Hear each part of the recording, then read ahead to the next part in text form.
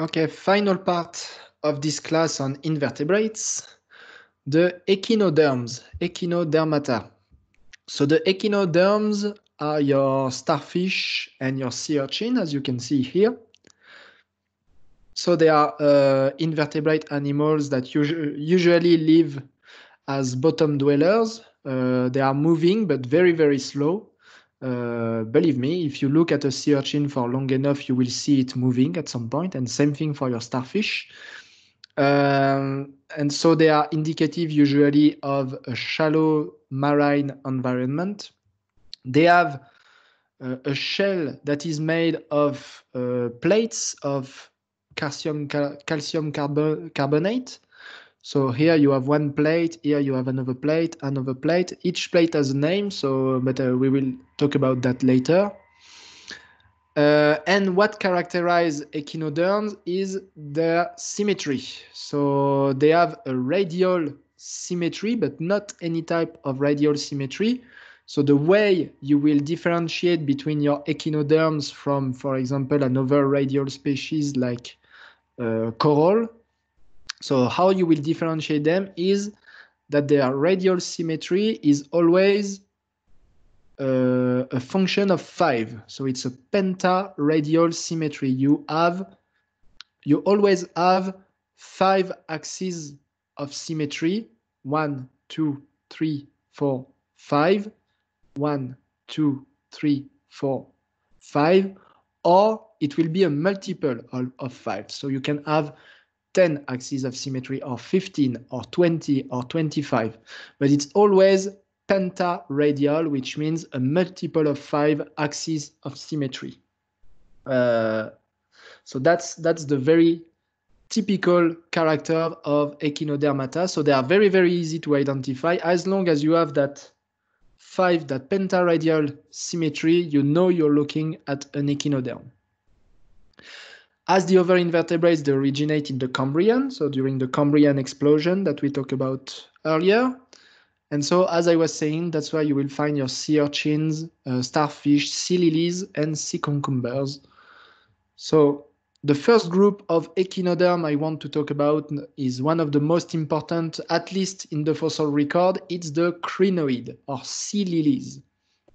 So, sea lilies are not extinct today but they are extremely rare and they are only found in the very deep sea. But before, and particularly during the Paleozoic, between the Ordovician and the Devonian, they were extremely abundant and they were found in every types of environment, uh, particularly the shallow seas.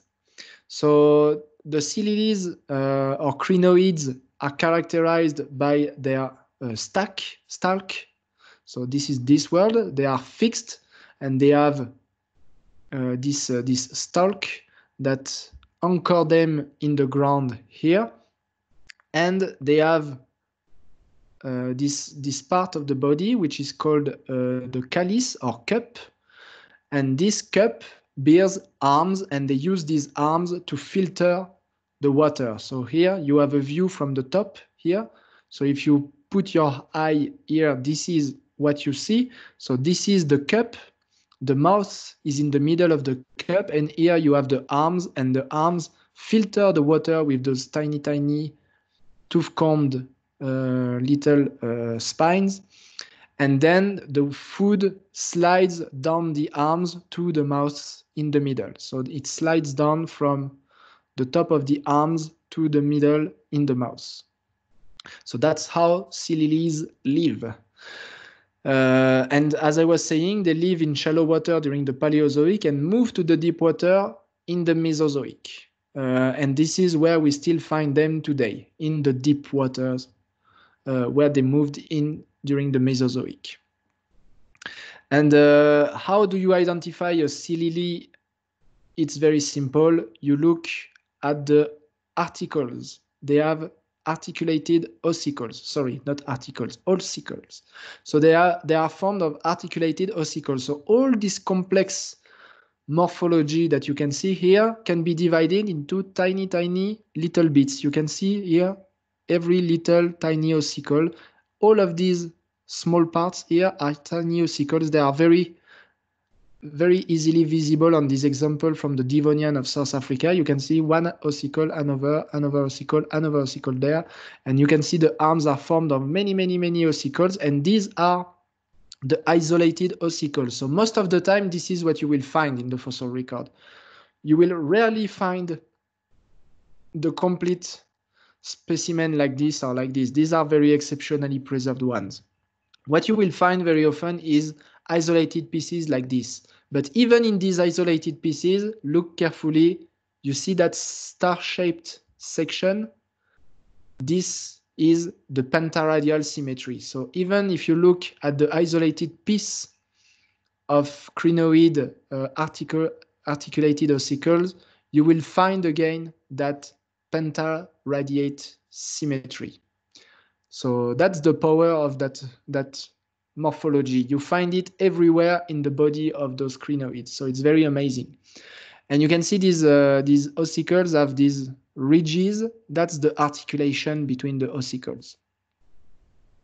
So usually you will find that, and exceptionally you will find complete specimens like these ones, uh, which are from South Africa. So you have a high chance of finding them maybe one day if you become a geologist. Um, and what's interesting in terms of time span, as I was saying, they are they live in the shallow water in Paleozoic, and they are particularly abundant in between the Ordovician in the, and the Devonian, and they become rare after the Carboniferous up until today.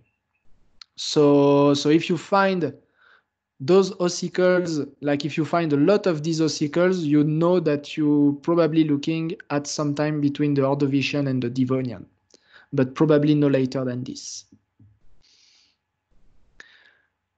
Another family of uh, echinoderms are the asteroid and the ophiurids, uh, which are the, your starfish and your brittle stars, respectively. So starfish are the asteroids and brittle stars are the ophiurids. They look very much the same in, in because they, they, they, just have five very long arms, uh, either the, uh, the starfish or the brittle stars, they look very similar to each other. And here, what I'm showing you there, it's the, the, the X-ray scan of a piece of slab that was found in the Devonian of South Africa uh, in the Cederberg area, if I'm not mistaken. So some sometime in some place in the Cape Fold Belt, uh, in the Cape Supergroup and they've scanned it using X-rays and they could reconstruct all the brittle stars and the starfish that were in there. And you can see there are thousands and thousands of them. All of these little uh, purple spots are a starfish or a brittle star. So it's really, uh, they, they, are really, really abundant. Uh, they, they mark the, their ecology is always a shallow sea. They are bottom dwellers. They are carnivorous, and uh, their time span from the Ordovician to present. So they are not super useful for biostratigraphy, but they are interesting for ecology because they they mark shallow seas. They can live in any any temperature though. Uh, and uh, something noticeable is I say they have five long arms, but some species you can see have more than five long arms, but you will count. It's always, I was saying, a multiple of five. So you can count how many arms this one has, and I'm sure you will end up with a multiple of five. Probably the, the most well represented um, family of echinoderms in the fossil record, the echinoids. So the echinoid that's your sea urchin, like this one, or your sand dollar, like this one, or your heart uh, urchin. So heart uh, uh, urchin, that's the ones you can find if you go on the beach uh, in the in the Cape, for example. So these echinoids also have a five a pentaradial symmetry. So one, two, three, four, five, and same thing here: one, two, three, four, five. Um, and uh, this pentaradial symmetry can be you you can divide it into zones. So basically, you have two type of zones that are repeated five times. You have the ambulacral zone. Maybe I have a yeah. I have a, a better picture here. Maybe, or we can use that one. That one is enough. So um, the ambulacral zone is the zone where the legs were located. Uh, they have little foot, those uh, sea urchins, they have little foot that they use to move. And these, these, uh, these uh, foot goes through tiny holes that you can see here. So here you have tiny holes here and there. And that's where the foot of the crinoid, of the echinoid, uh, go through and uh, and come out. So here you have another of this zone. Here you have another, and these are called the ambulacral zone. So the zone where the legs are situated, and between the ambulacral zones, you have the interambulacral zone, and that's where you find the spines. So these little uh, these little knobs here are for the spines. So the spines are not directly attached to the, the main body of the animal. They are articulated on, it, on them, so they will fall. And very often, what you will find is isolated spines of echinoids that look like this. So they can be thin or they can be very thick, like these ones, for example. But they are always characterized by these little articulations at the bottom. So they are very easy to identify because of that tiny articulation. So th that's, that's how you recognize an echinoid. You have ambulacral zones with tiny holes and interambulacral zones with the spines.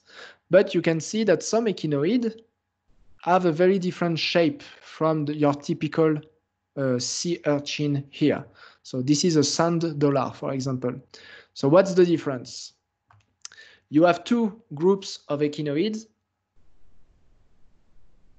The first group is your regular echinoid, and the second group is the irregular echinoids. So your regular echinoids are spherical, and uh, they have large club-like spines. So that's the one I've shown you here. That's a regular echinoid with, lar with large club-like club-like spines. And you can see they have a normal, may I say, a normal shape. So five, uh, uh, uh, five interambulacral and ambulacral zone that repeats in a circle, forming your complete echinoid. Uh, and on the other side, you have the irregular echinoids. And in this particular case, they are very often heart-shaped or even flat Uh, heart-shaped like the heart echinoid, the, the heart urchin, or even flat like the sand dollar. And it's because they have an altered pentaradial symmetry. So they still retain one, two, three, four, five ambulacral zone, so that you can still see, but that pentaradial symmetry is altered is modified into a bilateral symmetry. Why? Because the, in, the ambulacral zone are not regular, like in the regular echinoids. They are not all the same. Some of them are shorter, some of them are a little longer. And also you can see that the, the, the mouth, which was at the bottom of the animal, and here it's the bottom of the animal, the mouth is no longer in the middle. It has moved here uh, backward. So the mouth is no longer located in the middle and the anus, which was at the top of the animal, has also moved forward. So it's now located here. So the anus, it's called the periprocte here. It's a very technical word. You can call it the anus. The anus is no longer at the top, it's there, and the mouth is no longer at the bottom, but it's more backward. So now you have a bilateral symmetry because of all these modifications of the original pentaradial morphology. But you can still see the remnant of that pentaradial morphology, that pentaradial symmetry in the ambulacral zone. And you can see the interambulacral zone are very broad and they no longer have spines. Uh, instead, they have like the, the, the spines are very thin and they look like hairs. So it looks like like if you find a sea urchin with its spines, it looks like a small ball ball of fur. Actually, it doesn't look like a like a sea urchin like this anymore. So this is a heart-shaped uh, urchin, a heart urchin, and this is a sand dollar. But you can see here on the sand dollar, one, two, three, four, five ambulacral zone. The flat. So now these uh, these uh, different morphologies are very interesting in terms of, of stratigraphy because your regular echinoids are found still from the Ordovician to present, and they are particularly they are they are particularly abundant in the Paleozoic. So that's the only type of echinoid you would find in the Paleozoic, the sea urchin. But then your irregular crinoid uh, originate in the Mesozoic. So from the beginning of the Mesozoic, you begin to find irregular echinoids with the altered uh, pentaradial symmetry. And in the Cenozoic, you will find your first flat echinoid like the sand dollar here. So completely flat uh, echinoids originate in the Cenozoic. So you really have three stages the, in the evolution of echinoids that reflect the Paleozoic, the Mesozoic, and the Cenozoic. So that's very interesting. The Paleozoic has the spherical echinoids, but they are not completely extinct at the end of the Paleozoic. You can still find them today. You have the Mesozoic with the heart-shaped uh, sea urchins, and you have the Cenozoic with the flat urchins, the flat echinoids, the sand dollars. Another interesting thing about the echinoids is uh, how they went through the, the PT boundary. So the PT boundary, we'll talk about it later, it is the limit between the Paleozoic and the Mesozoic. So the limit between the Paleozoic and Mesozoic, which is represented here in yellow. So before the PT boundary, before the limit between the Paleozoic and the Mesozoic, you find a lot of regular echinoids, some of them uh, having, so you can see the ambulacral zone here in green, with the green arrow and the interambulacral zone marked with arrows. And what's interesting is the number of interambulacral zones. Here you have one, two, three, four, five, six, seven, eight interambulacral zones. Here you have one, two, three, four, five interambulacral zones. Here you have one, two, three, four, five, six, seven interambulacral zones. And here you have two interambulacral zones. So you have a wide diversity of uh, echinoid morphology among regular echinoids in the Paleozoic. So that's very interesting. And what's even more interesting is that when you go through the Permian-Triassic boundary, only one of them survived. And it's called Miocidaris. Miocidaris is the only echinoid that survived the end of the Paleozoic, so the, that, that PT boundary. The PT boundary is a mass extinction. Remember the first class we had, there are five big five, five big mass extinctions, which are called the big five. And the, the, the most uh, severe of them, the most important of them, is the PT boundary. 90% of the species went extinct. And among them, almost every single echinoid on Earth, except one species, Miocidaris. And Miocidaris had two interambulacral zones. And if you look at all modern echinoids today, you will find that they have two interambulacral zones, just like Miocidaris, which demonstrate that Miocidaris is the ancestor of every single uh, echinoid that lived since. So the regular echinoids which have two interambulacral zones and an ambulacral zone. The, the irregular echinoids, heart-shaped echinoids that have two ambulacral zones too, and the flat ones that are two ambulacral zones too. So whatever the, the echinoid that lives today, it is descending directly from Miocidaris. So that's quite an amazing uh, thing that we are capable of tracing back the origin of all modern diversity into one single species. And it's quite amazing how that mass extinction has reshaped the diversity of the complete group so dramatically, so dramatically that actually we can still see the consequences today. That's what is very uh, impressive in that particular example.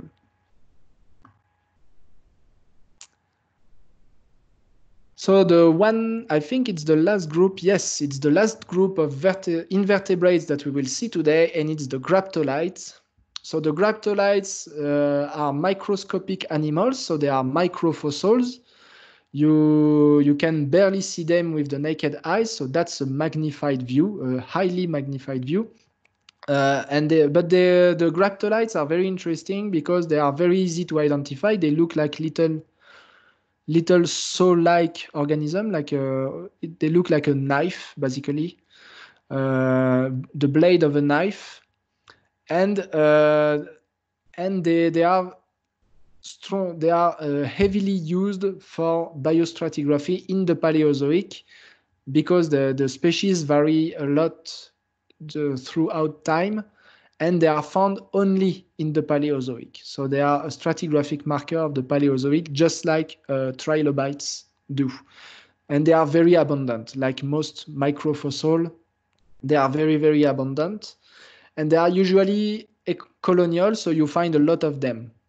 So they, they live in colonies, uh, but uh, not reefs like the coral or, or the sponges, but in open sea. So colonies that were floating probably in the water.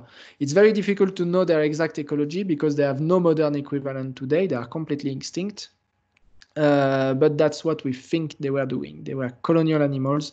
And uh, as I was saying, the, the main use of this graptolite uh, Uh, in the fossil record is biostratigraphy. Time for the quiz now. Brace yourself.